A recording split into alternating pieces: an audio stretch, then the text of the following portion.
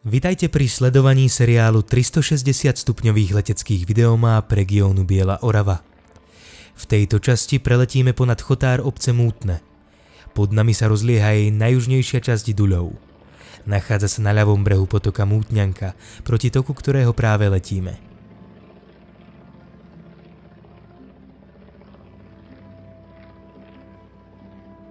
Obec Mútne leží v najsevernejšom cípe Slovenska asi 13 km severozápadne od okresného mesta Námestovo, priamo pod svahmi Oravských Beskýt a ikonického vrchu Pilsko.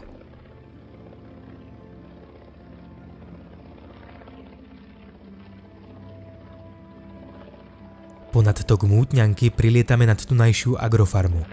Vpravo pri hlavnej ceste môžeme vidieť aj útulný penzión Zlatný potok – je ideálnym miestom na oddych pre návštevníkov obľubujúcich vidiecké prostredie, prírodu a zvieratá. V areáli agrofarmy si návštevníci môžu zajazdiť na koňoch či spoznať, ako sa tu starajú o kačky, husy, sliepky, kravy či ovečky.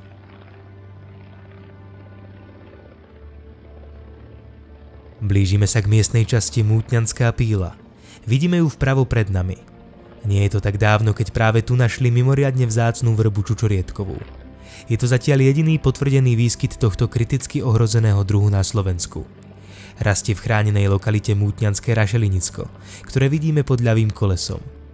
Ide o unikátny komplex všetkých troch druhov rašelinísk, a to vrchovísk, prechodných rašelinísk a slatín.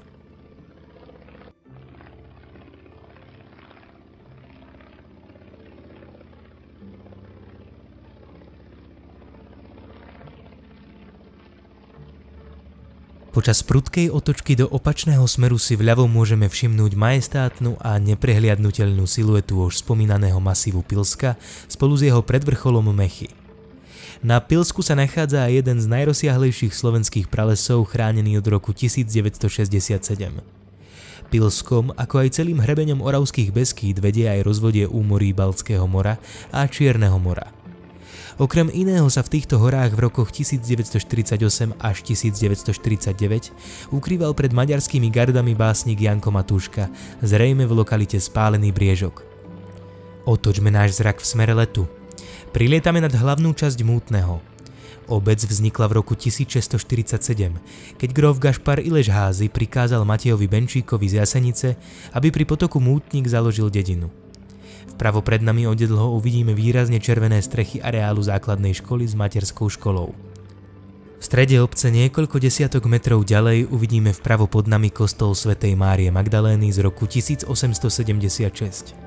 Stojí nedaleko miesta, kde kedysi stál prvý drevený obecný kostol. Drevený kostolík v roku 1875 asanovali, no zariadenie kostola, zvony a oltáre boli prevezené do nového kostola.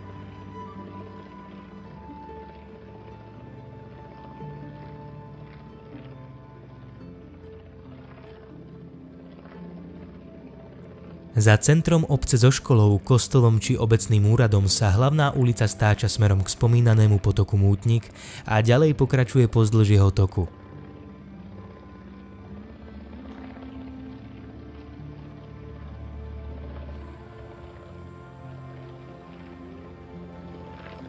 Priamo pod nami môžeme vidieť kaplnku Svetej Trojice stojacu pod vyše 180 ročnou lipou.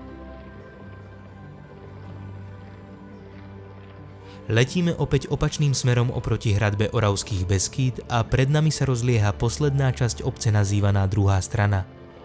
Leží na návrší medzi Mútnikom vľavo a Javorovým potokom vpravo. Zelená línia horských lužných lesov medzi poliami vám krásne ukáže, kadiaľ sa korytá potokov vinú.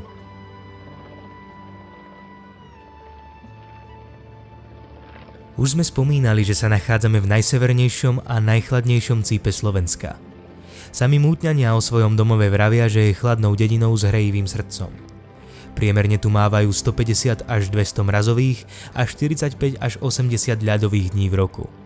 Obec Mútne je tiež najvyššie položená obec v regióne. Pri pravom krídle nám už dlhšie robí spoločnosť nezameniteľná silueta legendami opradenej Babej hory – tento mohutný masív je najvyšším vrchom Oravských Beskýt, Hornej Oravy i celých vonkajších západných Karpát.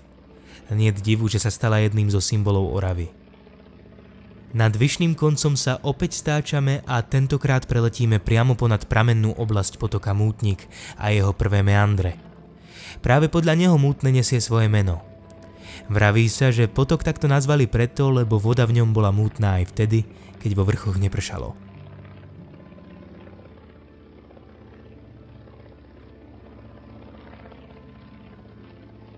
Priamo pred nami už vidíme aj tunajšie futbalové ihrisko, domovský stánok miestneho klubu Družstevník Mútne, ktorý svoju históriu píše už od roku 1966.